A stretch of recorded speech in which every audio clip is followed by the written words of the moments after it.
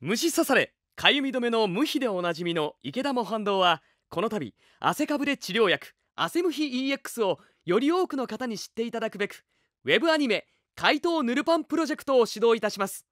汗かぶれとは汗をかくたびに広がるかゆみ湿疹炎症などの症状のこと。汗をよくかく夏の季節は特に汗かぶれになりやすい季節。汗かぶれの肌をかきむしると傷ついた肌に汗が侵入しさらにかゆみや炎症が広がる汗かぶれループには注意が必要です。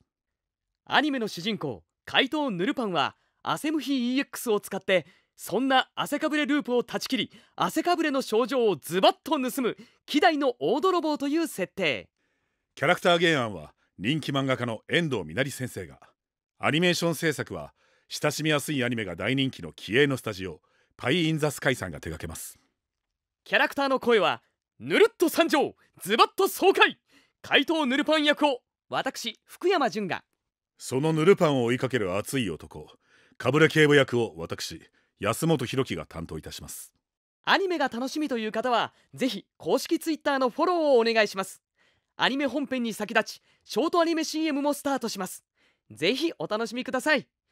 今後公開されるアニメのオープニングにも大注目です。汗かぶれ治療薬アセムヒ EX は Amazon や楽天などのオンラインストアおよび全国の薬局薬店ドラッグストアでお買い求めいただけます。それではこの夏怪盗ヌルパンをお楽しみに。汗かぶれにはアセムヒ EX ピンポーン。アセムヒ EX シリーズは薬剤師登録販売者に相談の上使用上の注意をよく読んでお使いください